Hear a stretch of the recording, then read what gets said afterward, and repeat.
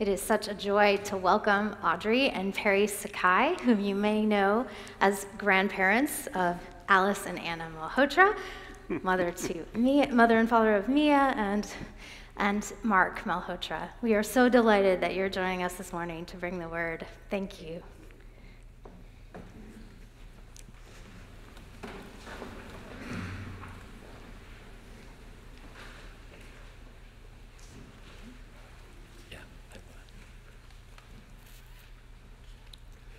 Good morning, St. Paul's. Good morning. It's wonderful to be here with you. Thank you, choir, for the wow, wonderful, wonderful music for this morning. Um, yes, we are grandparents to Anna and Alice. And we normally come here to jo- join you when they are singing in the choir. But actually, um, we have ties to St. Paul's that predate Mark and Mia coming here to worship with you. So, I actually grew up here in this area. Um, San Mateo was my home where I was raised as a child. I went to all the schools here. I went to Aragon High School, if any of you from there. I was here, and we, as a child, I would go shopping downtown where Equinox used to be J.C. Penney's, and Wells Fargo used to be I. Magnin. Maybe some of you were here in those days. And um, so when when Mark and Mia decided to come here to live and make St. Paul's their home, it was really kind of like a home for me as well. So um, we just um, have always felt your warmth and welcoming, and we're just so happy to share here with you today. Um, actually, it was 50 years ago when I was in high school that one of my closest friends attended St. Paul's. And she was not from a really religious family or anything, but she found her way into your community and felt that this was a welcoming space. So I remembered that from 50 years ago, and am so grateful that I get to be with you and um, have been spending time in your services and to get to experience the very thing that she did, Claudia, 50 years ago. And so, as, as you know, we're, we're sitting here at this just amazing convergence of our, um, our family's connection with you here at St. Paul's, but also considering our lifelong journey where the Lord has brought us. And we realize that Jesus invites us to move closer to Him with a willing heart. And it is this invitation that caught our attention when Reverend Sarah read from Mark's Gospel. And we meet James and John, the sons of Zebedee, two of Jesus' most beloved disciples in the very most intimate times, Jesus would call these two, James and John, to be close to him. And we see this when Jesus raised Jairus' daughter from the dead. He called James and John to be uh, James and John to be with him in that moment. When Jesus went up to the mountain to meet God the Father, he called James and John to be close to him. And at that Thursday evening, late Thursday evening, when Jesus struggled and, and, and struggled over the, what was going to be happening, unfolding to him over the next two days or the next day, he called James and John to be with him at the Garden of Gethsemane. So I can imagine that the early Christians, the early church, when they saw James and John, they regarded these two as like their heroes. They were like the heroes of the faith. And as Jesus predicted, they both did drink the cup of suffering that Jesus drank. They both were baptized with the baptism that Jesus was baptized with. We see in Acts 12 that James was martyred by King Herod for preaching the good news of Jesus. And then we see that John, John wrote the Gospel of John. He wrote three letters. But then we see that he was exiled on the island of Patmos, and there he wrote the book of Revelations. And these two men are heroes of our faith because they are examples for us of ones who are willing to, to suffer and sacrifice so much for the good news of Jesus. And it was because of their willing hearts that they drew close to Jesus. That was what, drew, that was what motivated them. And so, as we were contemplating this passage, I kept wondering what were these two like in the beginning. What were they like in the beginning? Because I'm not certain that they started out as heroes of the faith. I think they just started out, and we get a glimpse of that, I think, in this passage. And actually, when I was reading their story, their, this passage and their story was it was a real great se- sense of hope for us. that it was a great sense of hope for us. So they started out in the beginning, they were following Jesus for about three years.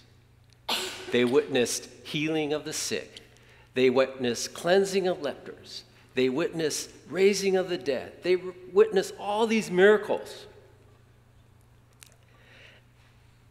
And they wanted to be close to Jesus. They just wanted to be close to Jesus. So we hear their requests that they made of Jesus. Lord, after you suffer and die and rise again, grant us to sit one at your right hand, one at your left, in your glory. So when I read this, I started wondering hmm, I wonder what their motivation was. What was, what, were, what was behind this question, this request? Was it because they wanted to be close because they just loved being with Jesus so much?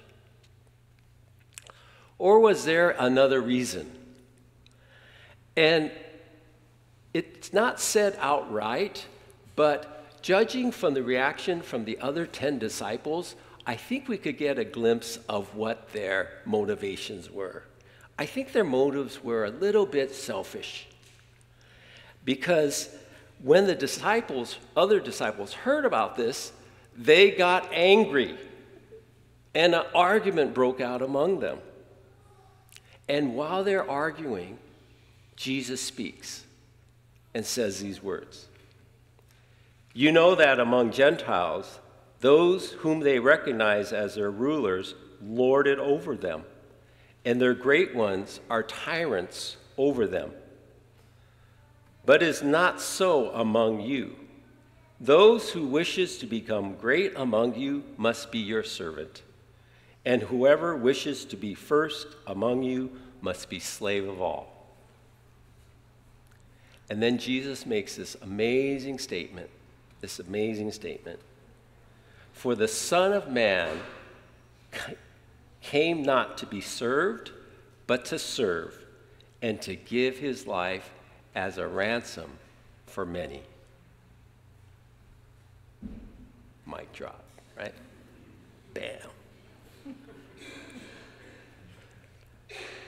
So, in this interchange, we see that James and John, perhaps they wanted to be close to Jesus for more selfish reasons. Because in their world at that time, being close to power meant you had access to power. You had access to influence. You had access to authority. But Jesus showed them another way. And Jesus' way, what being close to Jesus meant, not waiting to be served, but instead to be willing to serve others. And the great part of their story is that later in James and John's life, they got it. They understood this. And we could see it because for James, this path took him to, to become a martyr. And for John, this path took him to be exiled on the island of Pathos, Patmos. These two men understood what Jesus meant. They finally got it. Out of a heart of love, Jesus, the Son of Man, became Son of God, became man, and lived in kinship with humankind. And out of the heart of love, Jesus, the chosen one, gave his life as a ransom for many. James and John followed Jesus' way and drew close to him out of love.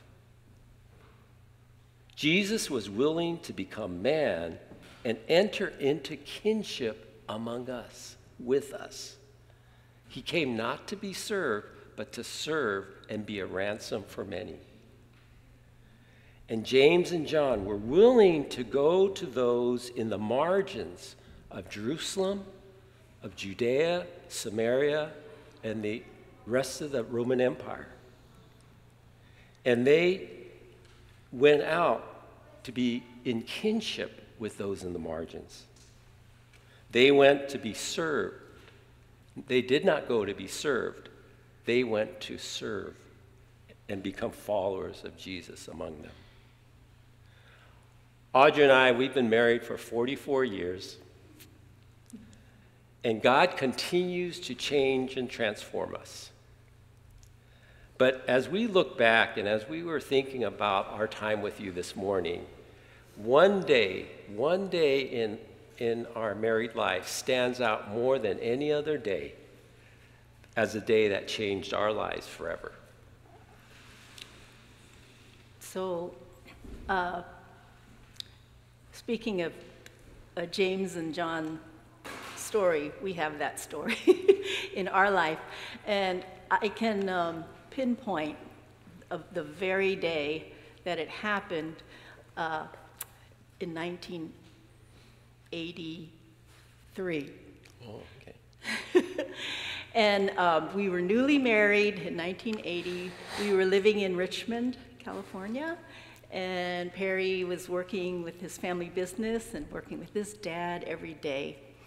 And um, there was one day when I decided to go and have lunch with them.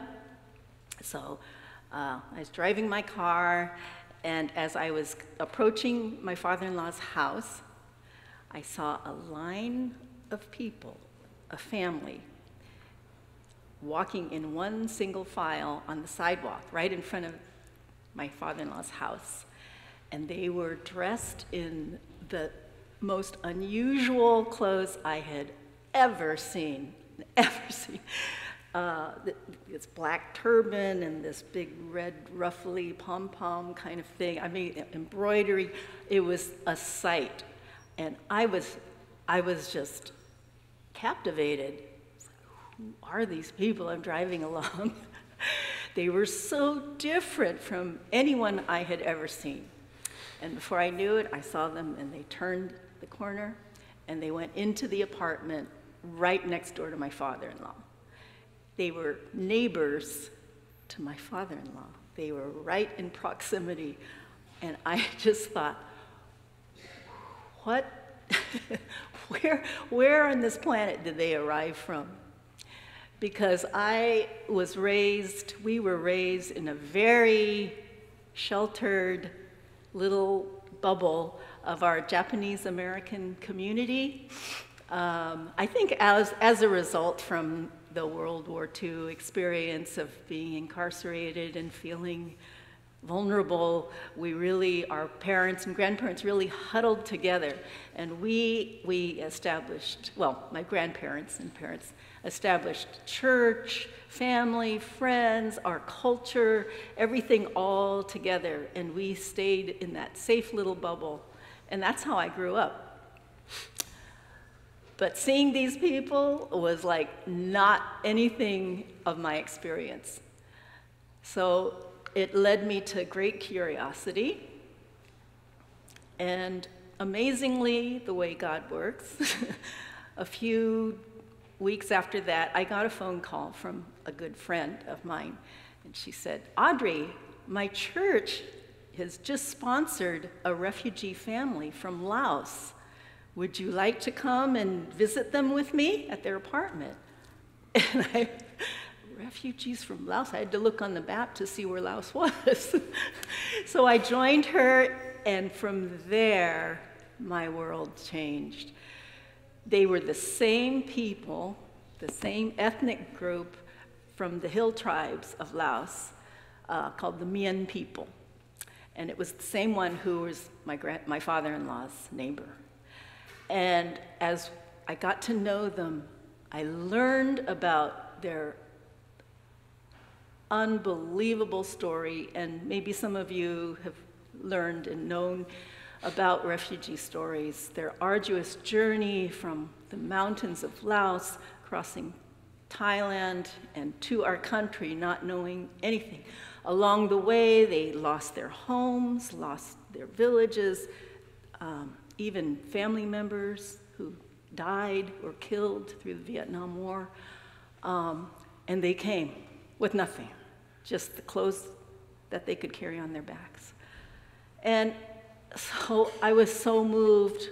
Perry and I entered into this world that just was so overwhelming with all their needs, and we just jumped in.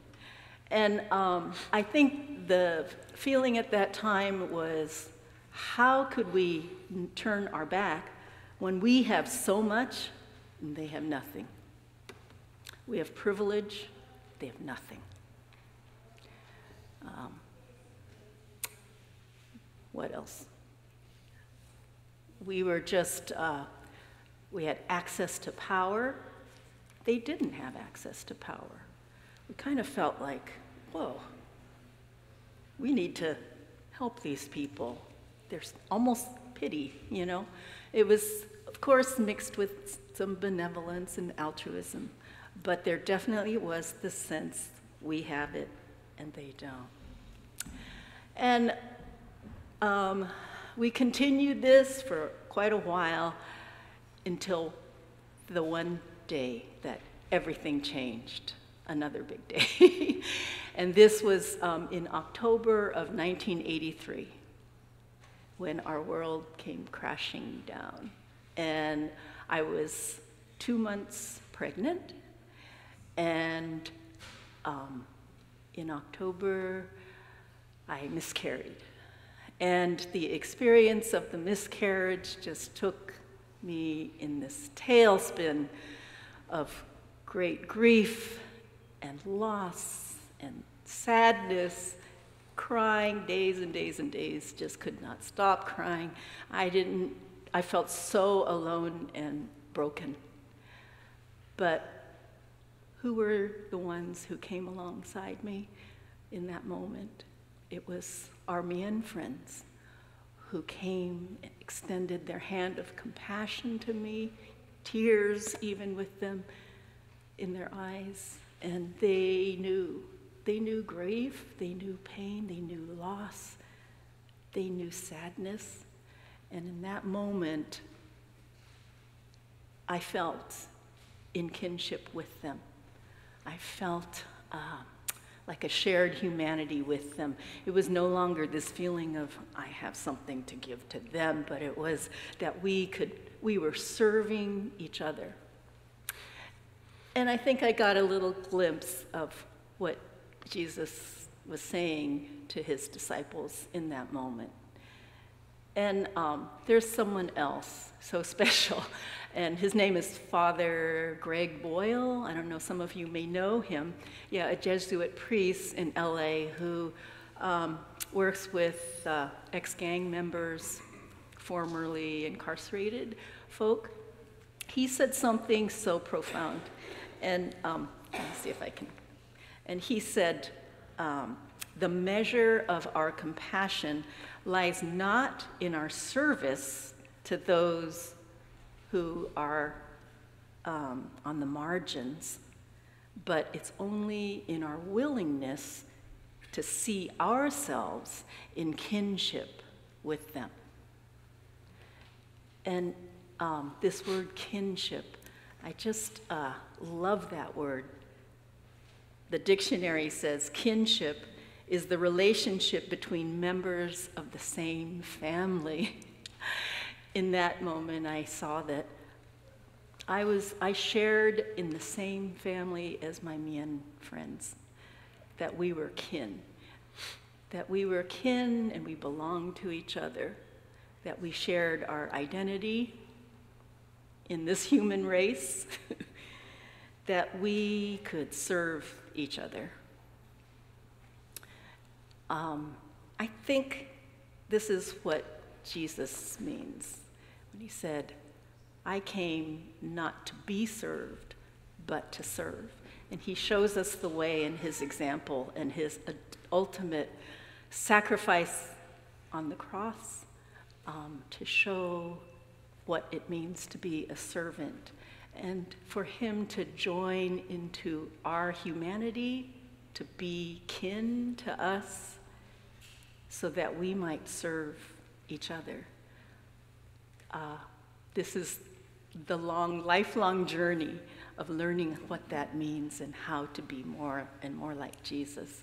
This was our beginning. Thank you. So, beloved, perhaps you're at the beginning of your journey, or perhaps you've been on this journey for many, many years. It is our hope, it is our hope that you know deep in your heart the wonderful good news Jesus Christ, Son of God, who is willing to enter into our world, not to be served, but to serve and be a ransom for many.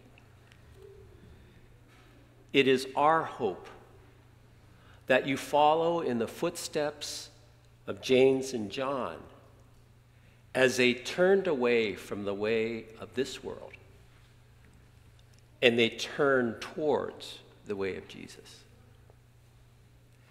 So, our question, Audrey and I, our question to you is how are you willing to live? How are you willing to live? Are you willing to enter into kinship with your neighbors, especially those who live in the margins here in Burlingame, San Mateo County, the Bay Area, and beyond? Are you willing to pay attention to those in the margin, to be aware? And are you willing to enter into kinship with them? In a few moments, Reverend Sarah will be serving us Christ's body and Christ's blood in the new covenant. And this is the highlight of our time together worshiping God. This is the highlight. And so, in that moment, when you come to the Lord's table to be served by Reverend Sarah and all those who are helping her. I invite you to be aware of the person who is on your right and on your left. Just be aware of them. Just be aware of them. And in that awareness, just take a moment to just say a blessing on the one on your right and the one on your left. Because if you do, if you do, this could be your next step to following Jesus' way. Because once you begin to be, get in the practice of being aware of who's on your right and on your left, and that you get in the practice of saying a blessing on them, who knows where what is going to happen next? Only God knows. Only God knows what's going to happen next. God bless you, St. Paul.